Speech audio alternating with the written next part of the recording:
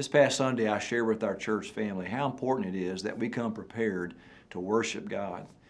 When we look at what uh, happened in creation, God created the heavens and the earth and everything in them on six days. And then on the seventh day, the Bible says that He rested. He blessed that day. He uh, set it aside as a holy day, the day that uh, He stopped creating. And really, what uh, we get from that is that God looked back over those six days and He celebrated His creation.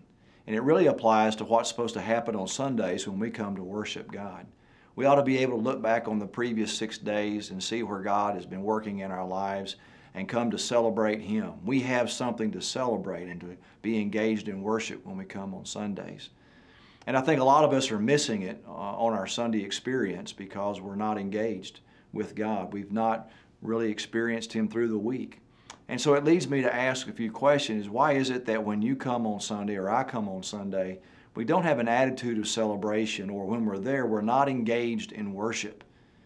Uh, when it just simply means that in the previous six days we've not been praying, we've not been in His Word, we've not been sharing the gospel with somebody else, we've not been serving the Lord. Because if we are doing that, we've been able to see God work in our lives, and we come on that on Sunday and celebrate.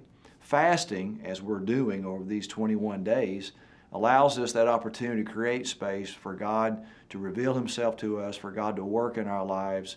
And it's an intense time of being able to connect with Him so that when we come this coming Sunday, we'll be able to worship Him. And I pray that uh, Sunday will be different for us as a church as we come to celebrate the work that He's doing in our lives and bring glory to Him, which will draw others to Him as well. God bless you.